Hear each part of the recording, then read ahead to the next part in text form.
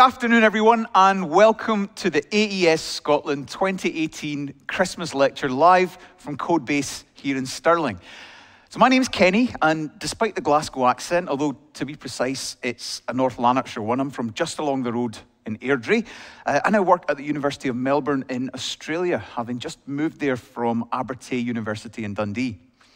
Now, I've always been interested in all aspects of sound recording and production, but I seem to have become best known for sound design and music production for video games. And so that's what I'd like to talk to you all about today.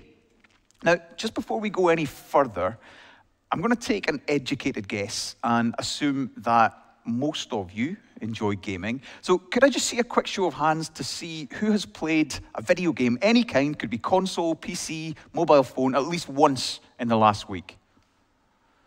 Okay, so that's practically everybody. Those who didn't stick your hand up, did you not play? The interesting thing is, you're the ones that stand out. Now, again, I'd like you to stick up your hands if you enjoy playing first person games. So that could be role playing games, shooters, survival horrors, driving games. Who likes playing that sort of stuff? Okay, so again, you didn't play a minute ago. okay, fair point, fair point. Uh, could anyone tell me what they particularly like about those games? Yeah, absolutely. So there's that sense of presence and immersion. You feel like you're part of the action. What about the sound and the music? Has anyone listened to those games and noticed how the music works with the gameplay? Anybody over here? Okay, so the sound and the music make you feel more immersed in the game. And it's that notion of interaction and immersion and sound that I really want to focus on and talk about today. So, we're going to begin by looking at where video game sound started and how it came to sound the way that it did. Then, we're going to have a look at interactivity and how that makes writing music for games a real challenge and what tricks and techniques composers and sound designers use to make interactive soundtracks. And then finally, we're going to round off by thinking about what the game soundtracks and particularly what the VR soundtracks of the future might sound like. Now, I'm going to be accompanied up on stage today by my trusty lab coated science elf, James, here, who is essentially the mirror image of me. I'm right handed, he's left handed, and as you can see from all of that fluffy hair underneath his chin, his head's been glued on upside down. Say hello, James. Hello, James.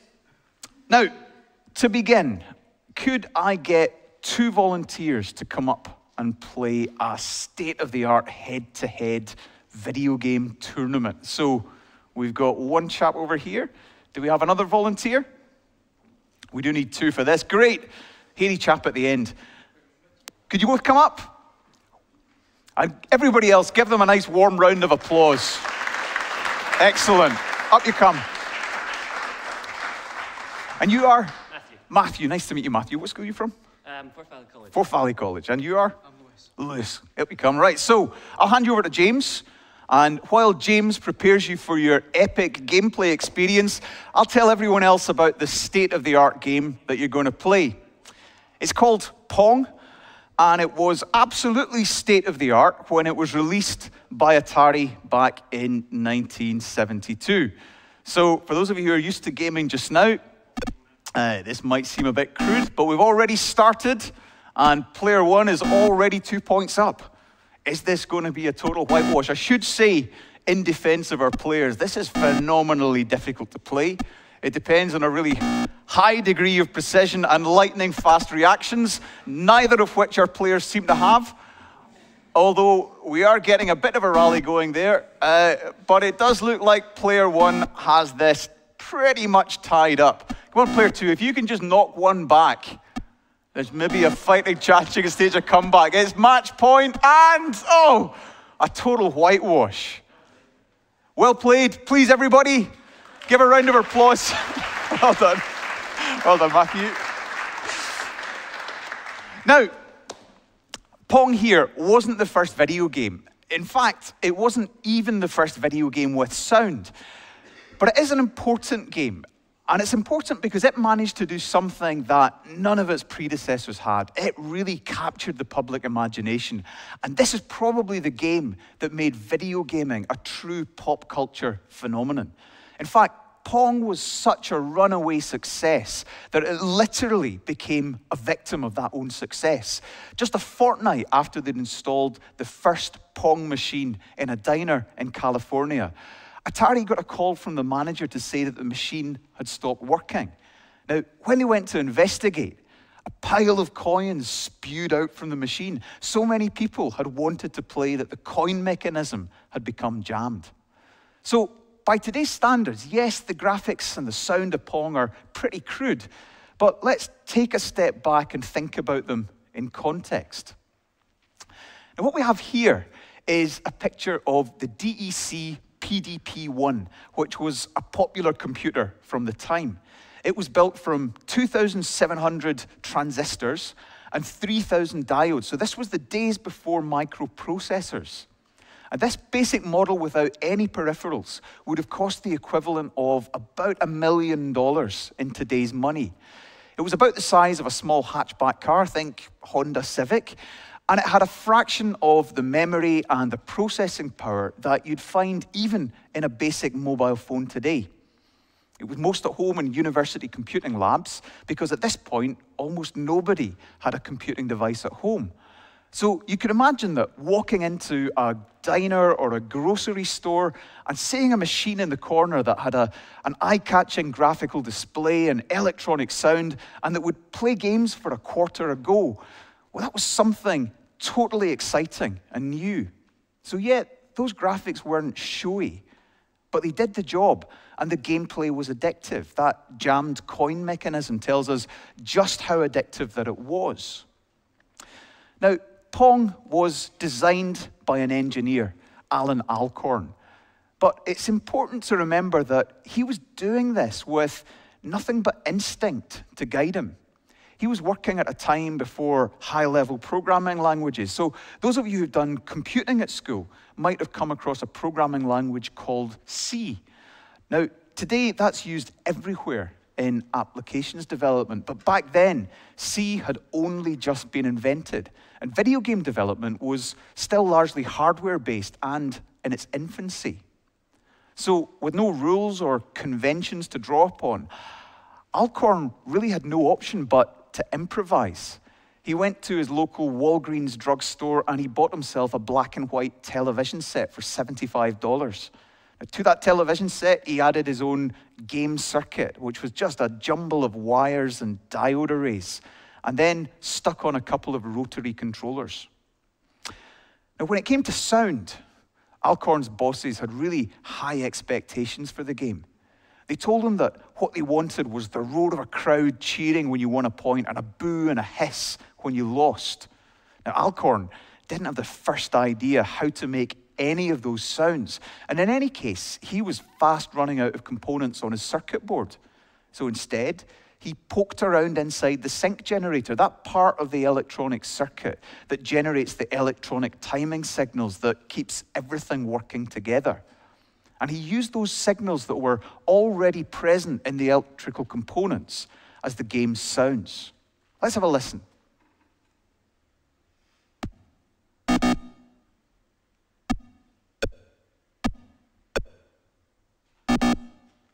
So, almost by accident, then, rather than by design, the shape and the sound of video game sound had been defined. It was square and it was pretty bleepy. And in all honesty, video game sound and music didn't really change very much for the next 20 years. There were improvements, of course, but they didn't really change the fundamental characteristics and qualities of the music and the sound that video games produced. My first computer was a Sinclair ZX Spectrum Plus. This one, in fact. Now, that was the machine that really launched the games industry in the UK. And just like Pong, it could only produce one channel of sound. But to make matters worse, the Spectrum had no dedicated sound hardware at all.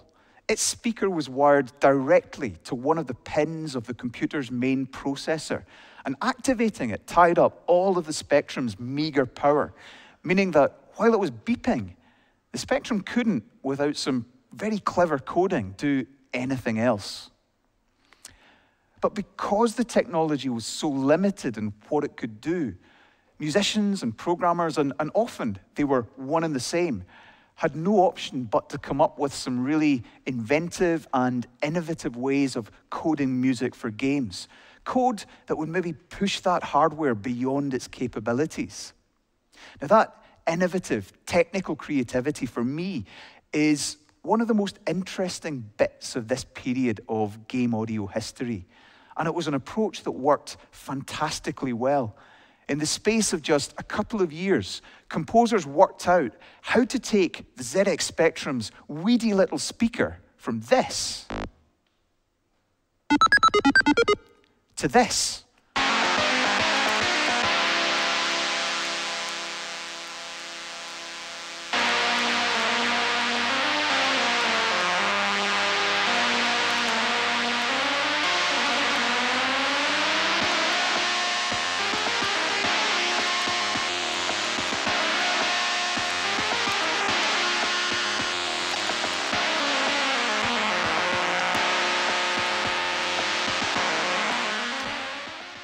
Of that then just comes from a single channel, tiny little speaker hanging off a processor.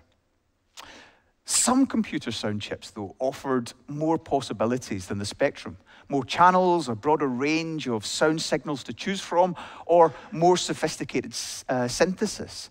So, for example, the Commodore 64 introduced a sound chip called the SID, which was really designed like a mini synthesizer. Alongside three channels of tone generation, it could do filtering and frequency modulation.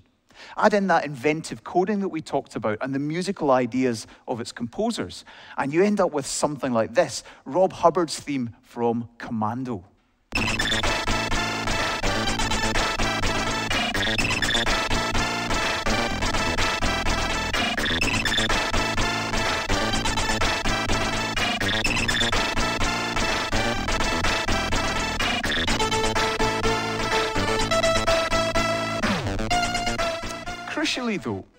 Although as you can hear, it's a great track, it's much busier and more inventive in terms of how those synthetic bleepy sounds are used, fundamentally, the music is still pretty bleepy.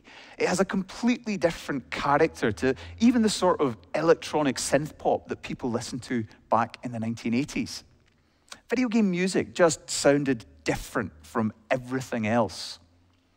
Now, that all changed with the launch of Sony's PlayStation in the mid 1990s.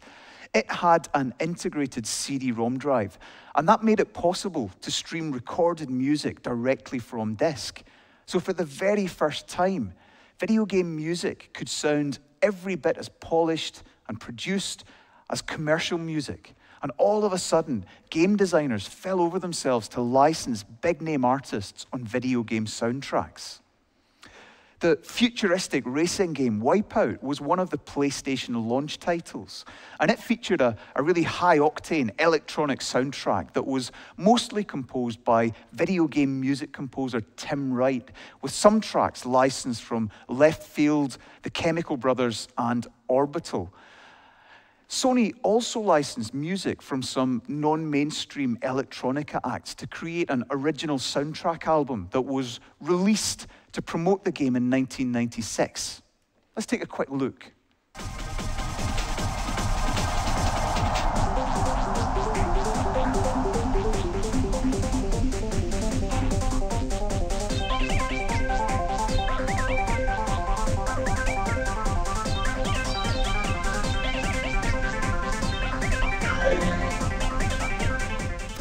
So the PlayStation then really normalized the idea that music and games could sound every bit as good as the music that you might actually listen to at home. And from that point, things moved on really quickly. Now, you might have heard the term convergence before, which relates to the way that different technological platforms evolve over time to perform the same sorts of tasks. Just think about how the mobile phone has evolved to become a handheld personal computer and a music player and a video player and a gaming machine. Well, this, I think, was the point where games really began to converge with movies, particularly with those first person role playing games. The PlayStation introduced graphic chips that enabled high quality, high frame rate 3D visuals that put you, the player, right in the heart of the action. And its sound chip and its CD ROM drive gave you high quality sound and music to match. But there were still challenges. And perhaps the most important of these was how to make that high quality CD audio work with interactive gameplay. Now, I recently spoke to Colin Anderson, who, back when the PlayStation launched, was head of audio at DMA Designs and produced the music for the first two Grand Theft Auto games. Now, I asked him how that shift away from sound chips to production music changed the way that people used sound in video games. It, it was pros and cons. It wasn't just all pros. But the, the pros that you got was definitely the fidelity of the, the audio that you could create. It gave you access to the same resources that the film and television industry would use, for example. And that meant for the first time you could use real recordings of real instruments, of real sound effects, so actual door closing, instead of having to synthesize them in some way approximately. So it was really good from that perspective. It also gave you great a uh, great use of talent as well, because suddenly you didn't have this barrier where it was only coders who could work in the space. You had this thing where the you could work with sound designers who had experience in other media, so that was good. The cons were things like interactivity. We lost interactivity for a while. The synth chips were particularly good because they were being coded at quite a low level. They were really good at responding to, to gameplay as it moved. And that sort of went away when we started using CD and things like that. And also, expectations changed really quickly as well. Suddenly, the novelty of, hey, this has got a CD soundtrack went away, and people were just like, okay, we expect that. Of course, it's going to have a CD soundtrack. What else have you got? Uh, it was it was a real a real game changer in that respect. So yeah, it was pros and cons, but it was, as you say, a really exciting time. Now, Colin mentioned interactivity there. And as a concept, it's one that's right at the very heart of video gaming. It might even be the most important aspect of all. Because without interaction, you don't have a video game. You just have a video, a non playable cutscene. And how many of you skip the cutscenes? But interactivity is also the thing that makes writing music for games a real challenge. And to illustrate, let's think about film. When a composer has to write music for a film, structurally, most of the work is already done for them. They get an edited section of film, it will be a certain length, and the events in the story will happen in the same order every time they watch it. In other words, the composer has a framework that they can use to plan and to write to. And so they can just get on with the job of actually writing the music. The same isn't true for a video game. Think about it everybody plays games differently. Do any of you ever watch speedrunners play games? They blitz through levels as quickly as possible. On the other hand, other players, and I'm probably one of them, take the time, they pick up all of the power ups and explore every bit of every level. So, what game events happen and what order they happen in will be totally different for each player, and they'll be determined by the particular player and their particular approach to play. Now, for the composer, that's a real challenge because now they have to write music for game events that might or might not happen.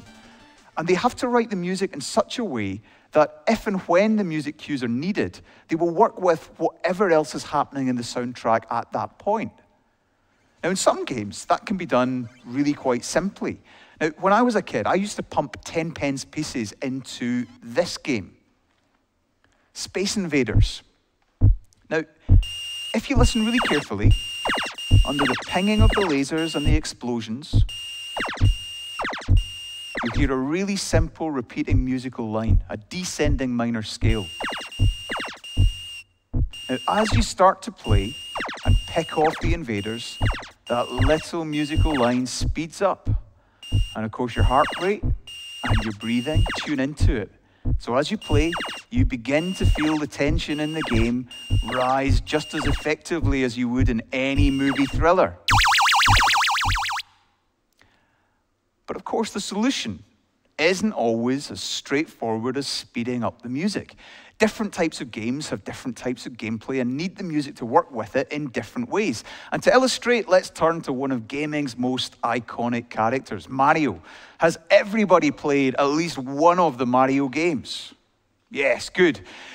Well, let's start by thinking about those flashing gold coins that Mario can collect. What happens when you collect 100 of them? You get an extra life, thank you.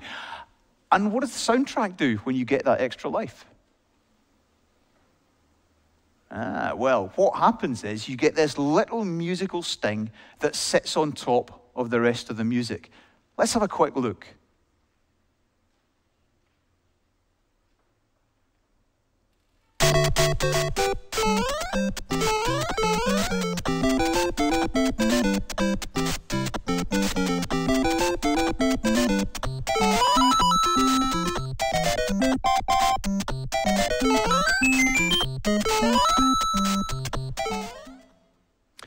Did you all hear it?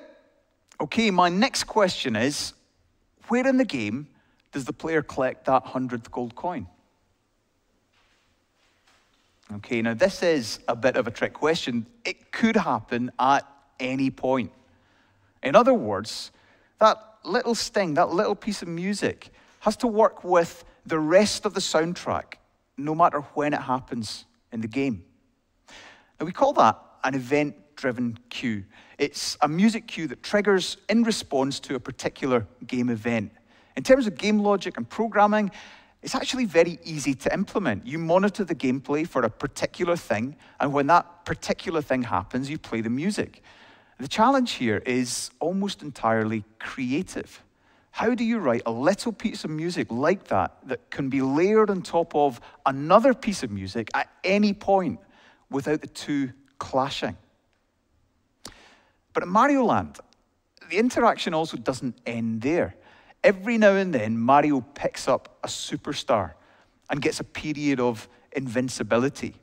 And what happens with the soundtrack this time? Well, here, the music changes, and it changes quite dramatically. Again, let's have another quick listen.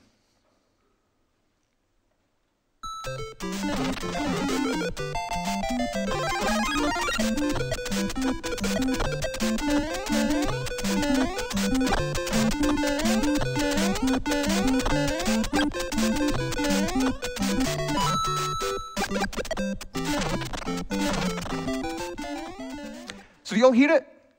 The music transforms from the familiar overworld theme into what's kind of an almost Latin style double time stomp. Now, because there's a, a, much more substantial change involved here, it requires a slightly different technique. This one's called horizontal resequencing. The best way to think of it is to imagine the timeline of a game as a horizontal line stretching out in front of you.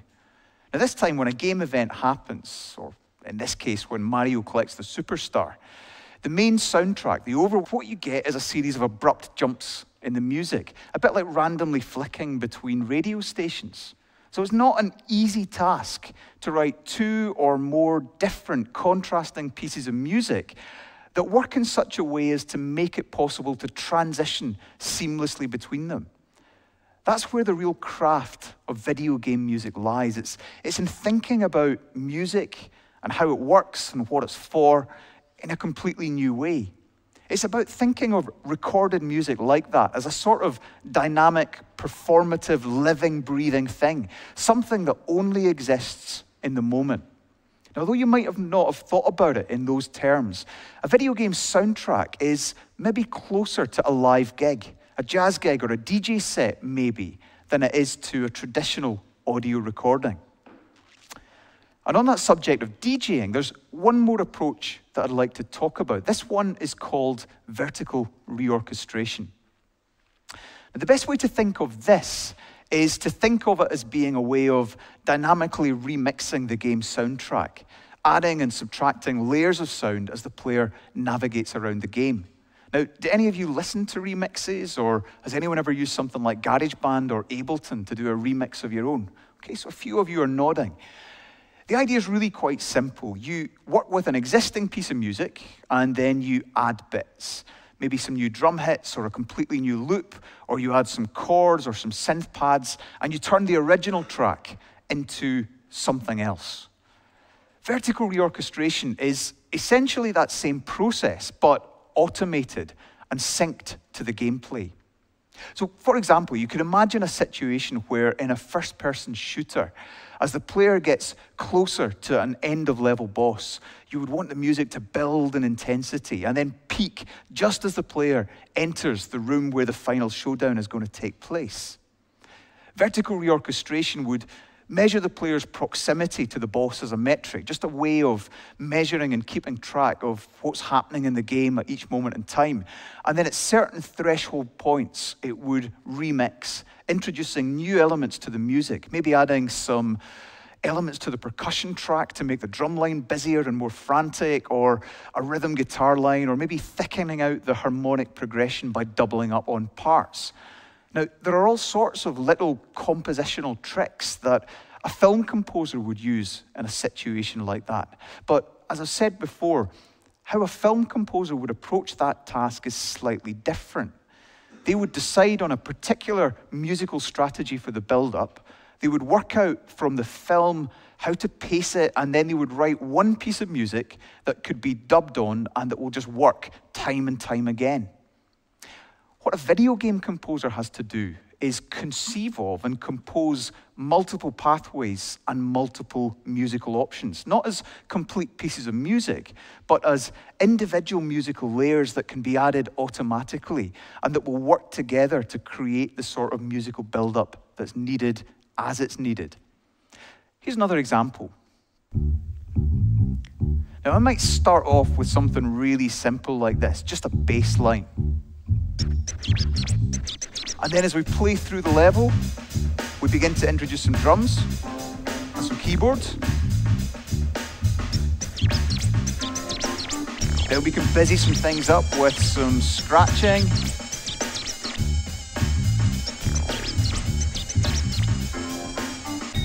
We pull in a synth lead, and then before you know it, we've thickened up the mix a bit. Of course, it doesn't need to be all one way. If we want to, can drop out elements to bring the level back down again.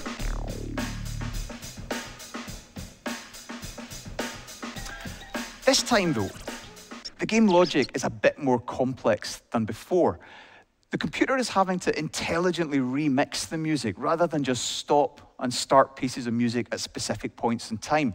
Think of it as being like that club DJ that I mentioned who can spin and mix tracks without a break to get a crowd dancing for hours, as opposed to the sort of party DJ that you might hire for your granny's birthday, who'll come along and just play through a playlist by sequencing uh, different tracks one after the other.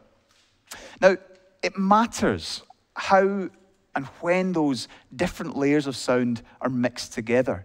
Are they just dropped into the mix? Are they crossfaded? Should we wait until the start of the next musical phrase or the next bar before we bring them in because that makes the most musical sense? Or do we transition immediately so that we don't lose a high degree of synchronization with the gameplay? Now, the answers to those questions depend on context, and normally they're questions that a composer or a sound mixer would answer before writing the music and then coding into the game logic. So, in a sense, the video game composer has to anticipate each possible eventuality, provide the musical layers that will make those eventualities work, and then build a set of concrete rules of musical play that will enable the game music system to make those decisions and engineer a game soundtrack that works in the moment and in real time.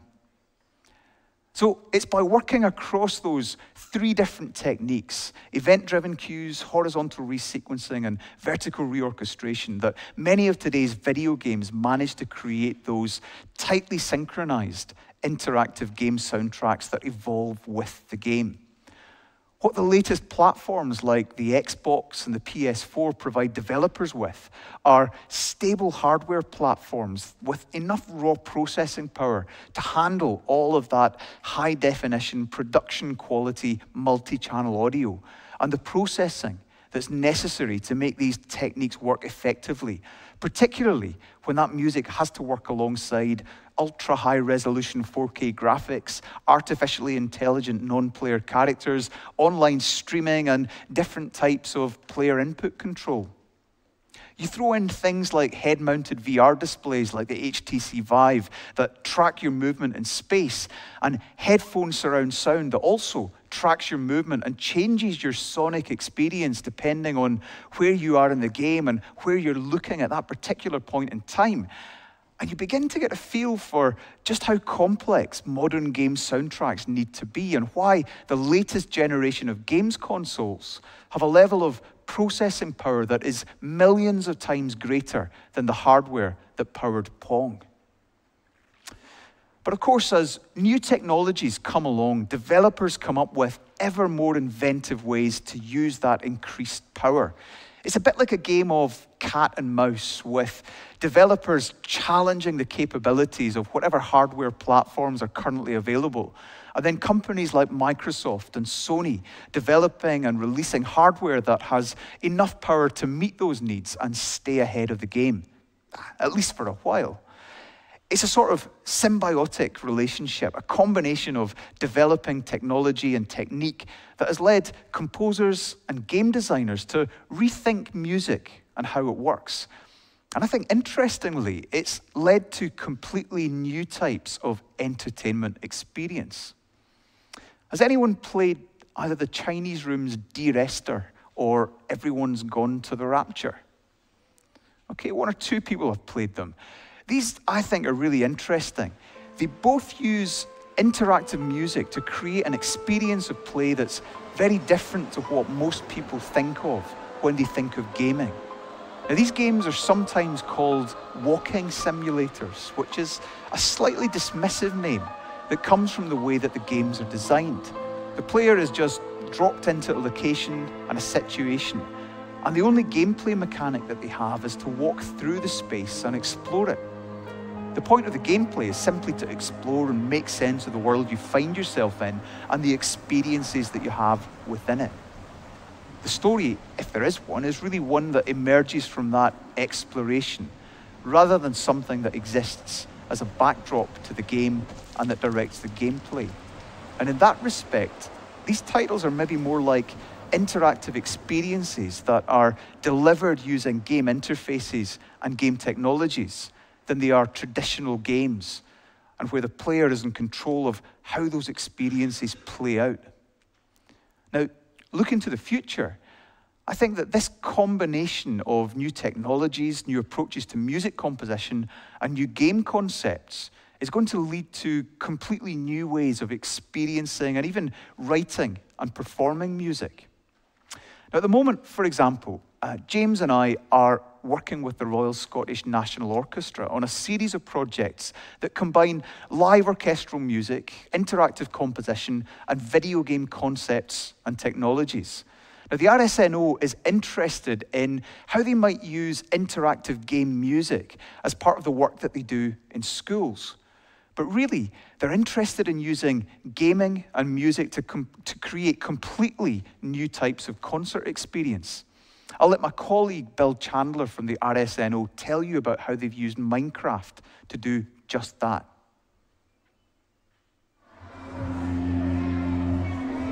In 2016, the RSNO launched a fresh, innovative approach to presenting school concerts, using an element that practically every child in Scotland loves Minecraft. One of the most important things that we do is to bring orchestral music to children, especially for the very first time. The RSNO presented five sold out concerts in its new state of the art RSNO Center to over 2,000 really excited kids. Every teacher receives a specially devised training session and a resource pack. And before each concert, each school got uh, a visit from an RSNO musician who actually worked with them to create their own music based on the, the music that they were going to hear in the concert.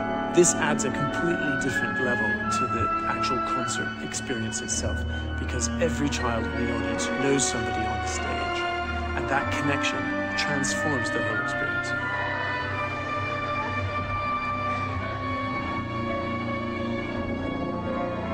The most original thing we did on this concert was to commission young Scottish composer Jay Capperauld to write us a new piece of music. Jay's idea was to create a piece of music that kids can explore just like a game of Minecraft. Children direct the play on the screen in a live version on a server that we've created. Subsequently, the orchestra then, according to the kids' wishes, actually plays music for each world that they explore, resulting in a performance that is completely different every time. To choose. We have yellow and orange. What would you guys like?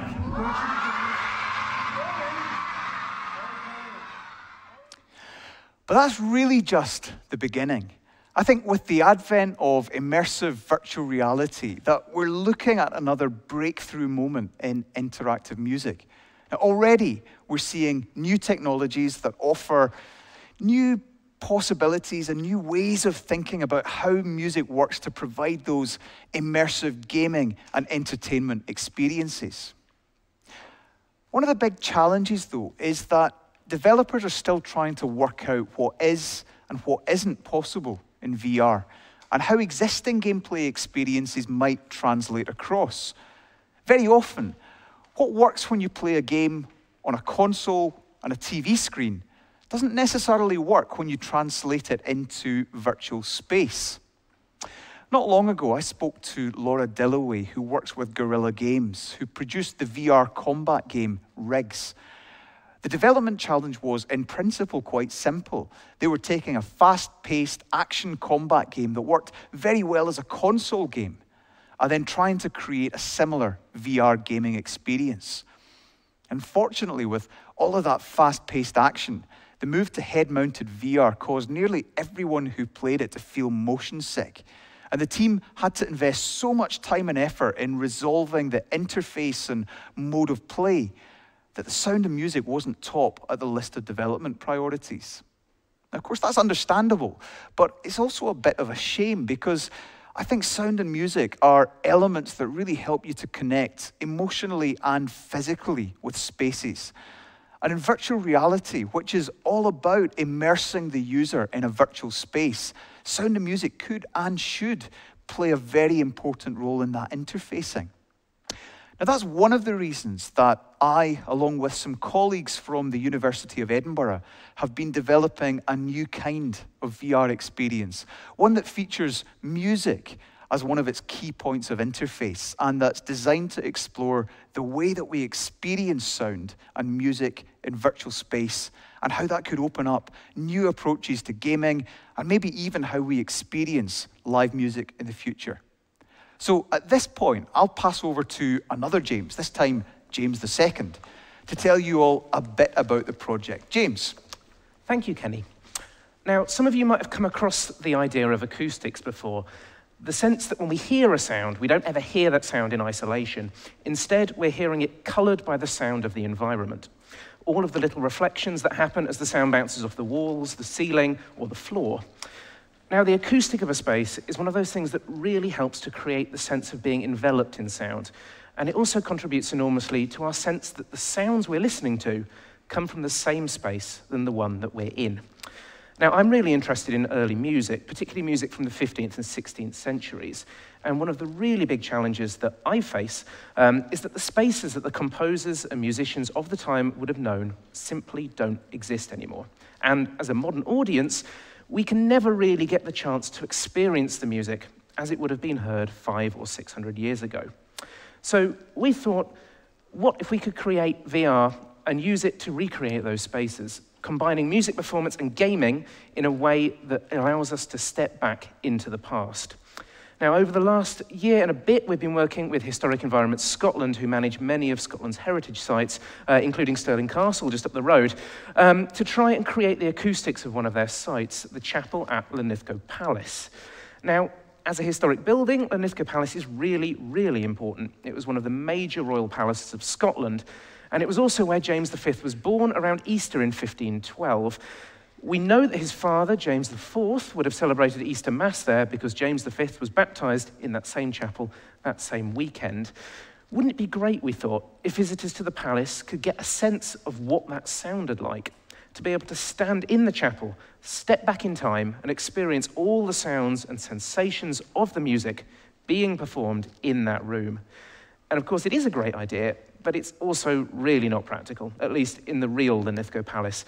As you can see from this photo, the building today is really little more than a shell. It doesn't have a roof, let alone floorboards, plasterwork, or any of the magnificent interior drapes or hangings that would originally have been there. We've been there, we've tried singing and making noise, and all that really happens is the wind carries the sound away. It's impossible to get a sense of how that space would have sounded to James IV. What we realized, of course, was that VR gave us both a set of tools to do the sort of reconstruction work that we wanted to do without risking any damage to the original buildings, but it also gave us a way of putting users into the space so that they could interact and play with the music recordings that they were hearing. Back to Kenny. Thank you, James. And one of the challenges that we faced, though, was that VR has in the past largely been a visual medium we didn't really have the development tools or the workflows that we needed to produce the music, get it into VR, and then bring it to life acoustically. That's really what our project has been about. And it is, I think, one of the next important steps in game audio. How do we build on the production techniques that we've been looking at today and develop them so that they meet the needs of immersive VR? What will VR soundtracks even sound like? And what role has music to play in VR gaming? One big challenge for us was that we couldn't just record the music in the usual way by taking musicians either into the studio or to a performance venue and recording there. That would have captured all of the acoustics of the real space. And when we took it into our VR space, we would have been adding layers of artificial acoustic to the real one, and that would have sounded, well, a bit weird. What we did then was take our musicians into an anechoic chamber. Now, has anybody heard of an anechoic chamber before? Uh, one or two. It's a space that's been specially designed to have no natural acoustic. You stand on a suspended floor, and all of the walls and the ceiling and the floor beneath you are covered in these dense acoustic tiles that diffuse and soak up all of the sound energy. All you can hear in there is your own heartbeat and the blood flowing through your ears. It really is a very weird space to be in because, as we said earlier, in everyday life, we never hear sound like that in its raw state. It's always colored by the environment. Here's a, a, quick recording that shows how a sound changes as we move from that dry anechoic sound through to the same sound recorded in an acoustic space. Hallelujah. Hallelujah.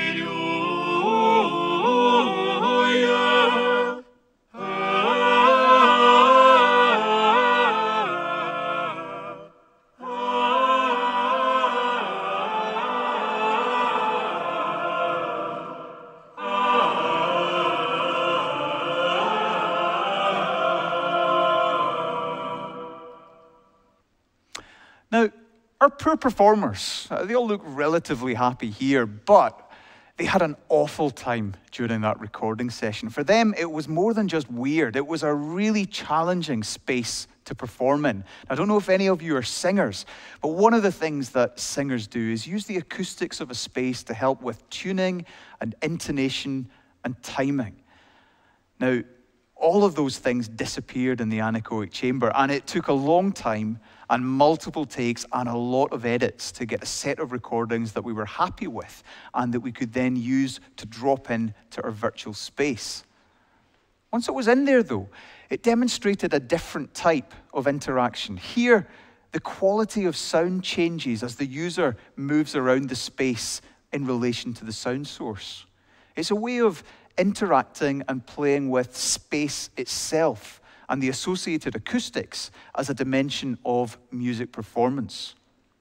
Just imagine, though, translating that back to gaming. Imagine playing a first person role playing game, a, horror game maybe, where the eerie acoustics of a space create a, a true sense of being immersed in the action.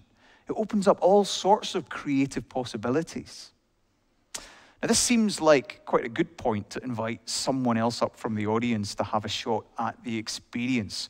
Could we have a volunteer who'd like to step into the past? Excellent. Up you come. Give them a round of applause. And you are? Sorry? Kier. Kier. Nice to meet you, Kier. Right, I'll hand you over to James II. He'll get you into the space, and I'll tell the audience a wee bit about what we're going to experience because it's a, a wee bit involved doing this transition. What we're going to do is put Kier here into Linlithgow Palace in the present day. So, what we'll see at first is a virtual copy of that photograph that we saw on screen a moment ago. So, lots of bare stone walls, stone floors, and of course, no ceiling.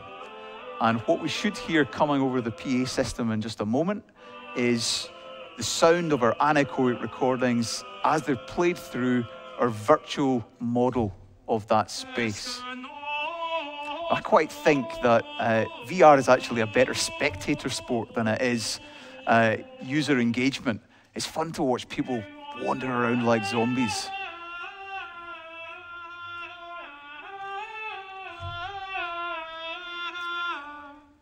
Okay, so if you look over to the monitor here, you'll see what Kier can see. And if you look very closely, you'll notice that two of the singers bear a startling resemblance to myself and James. And Kier, if you could look up and see the open sky and the derelict arches of the building as it is. Are you ready to step into the past, Kier? Okay, I'll get James to make the transition. And this time you should notice quite a dramatic change. Uh, in actual fact, the acoustic isn't as live as you might expect because we think that uh, they were very aware of the quality of sound in the space and dressed it with the interior fabrics to control the live acoustic. But this is laid out. As you can see, the architecture is quite ornate. And this is laid out with decorative objects, uh, just as we think it would have been uh, back in 1512. And the architectural historians from Historic Environment Scotland have advised us on the layout, the structure, and the design of all of the objects.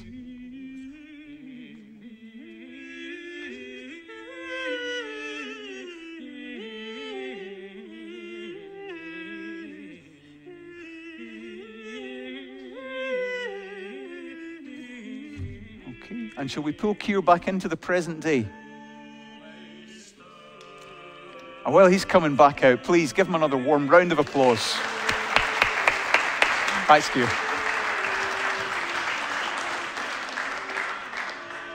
Now, one immediate application of this sort of thing is that it provides organisations like Historic Environment Scotland with new ways of engaging the public with its buildings just imagine going to visit Linlithgow Palace or the tunnels underneath St Andrew's Castle and being able to step back into the past and through interactive storytelling and realistic rendered visuals and immersive sound and music, bring those spaces to life.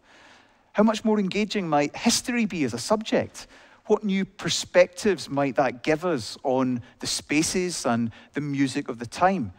And how much more might you learn if you could combine that idea of exploratory games like walking simulators with these new immersive and sound technologies? But there are other interesting offshoots from this too. Now, when you think of classical music, you maybe don't immediately think of people doing exciting and innovative things with technology. But we've been working with the classical music label Hyperion and a group of singers, the Binchois Consort, who you saw in the anechoic chamber earlier, to produce what we think is the world's first classical album recorded and produced entirely in virtual reality. So the consort are going to record the music in the anechoic chamber, and Hyperion's engineers are going to be using our VR acoustic tools to mix and master the recordings. What we're also hoping to do is develop a companion app that lets listeners download additional content recorded in the anechoic chamber and then remix it in VR so that they can listen to each piece in different locations and at different points in time. Now, again, like those walking simulators, that's maybe not a game in the traditional sense, but it is an example of play and an example of gamification taking some of the elements and the mechanics of gameplay and introducing them to other non gaming situations. What I think it shows, though, is that there's enormous potential here. We're only just scratching the surface of what's possible with sound and music in VR. It's going to take time for people to figure out the mechanics of what's possible, what works and what doesn't, and what the new codes and conventions are for VR as a medium. I think it's only then that creatives will be able to come in and push the boundaries of what's, what's possible by creating new types of playing experience and new ways of listening to and interacting with game audio.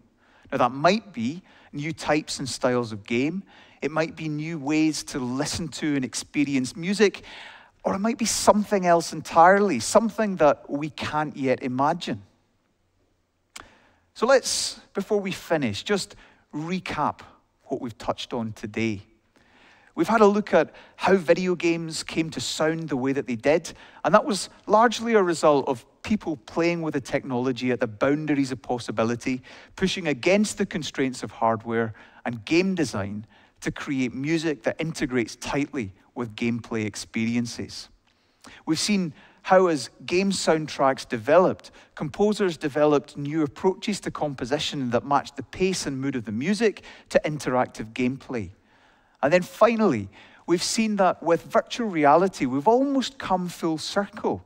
We're back to a situation where the technology is new and the possibilities that it offers are seemingly boundless. In fact, we need to work out where the boundaries of possibility are before we can start to push back against them. And in fact, it will be you that does that. You're the generation who are going to figure out what VR is really good for and what new and exciting modes of entertainment and education it opens up. Now, all of you are here because you're interested in sound and music. And as we established right back at the start, almost all of you are interested in gaming and interactive entertainment. So I'd encourage you all to embrace it. Look and play, but most of all, listen. All of you can have a role to play in what happens next, whether that's as players, creators, or consumers. The only real limit is your imagination. Thank you.